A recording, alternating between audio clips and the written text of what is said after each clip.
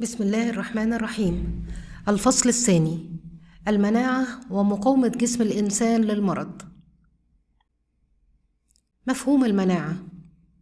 يتعرض جسم الإنسان لدخول كثير من الأجسام الغريبة.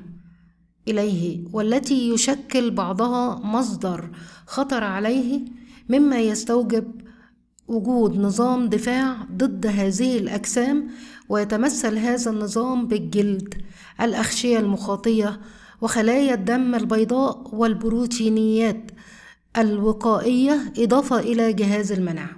تعريف المناعة هي عبارة عن مقاومة الجسم ضد الكائنات الممرضة التي يتعرض لها الإنسان أو نواتجها السمية وذلك عن طريق التعرف على هذه الأجسام الغريبة وهي ما تسمى بأنتيجين وإنتاج الأجسام المضادة antibody لها وتحطيمها.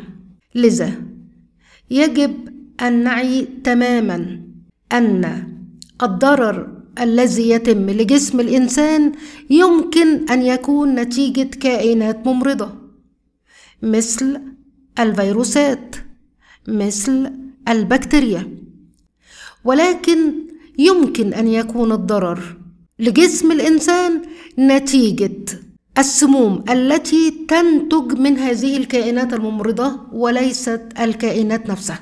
الأنتيجين هو أي مادة ذات طبيعة كيميائية بسيطة أو معقدة مشتقة من أجسام الكائنات الحية الأخرى أو خلايا الميكروبات أو جزيئات بروتينية أو كربوهيدراتية لهذه الكائنات.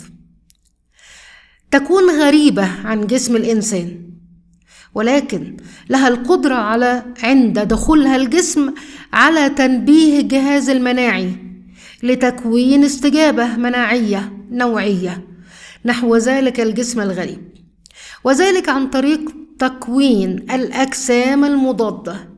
هذا ما ينتجه جسم الإنسان antibodies.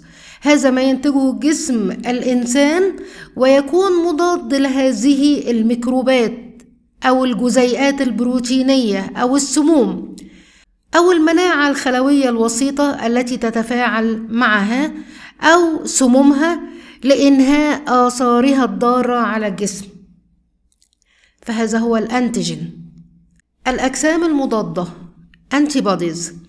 هي عبارة عن بروتينات سكرية glycoprotein تعود إلى بروتينات بلازما الدم جميعها من نوع الجلوبيولين التي لها القدرة على التفاعل بصورة نوعية مع الجسم الغريب الذي استحثت على تكوينها.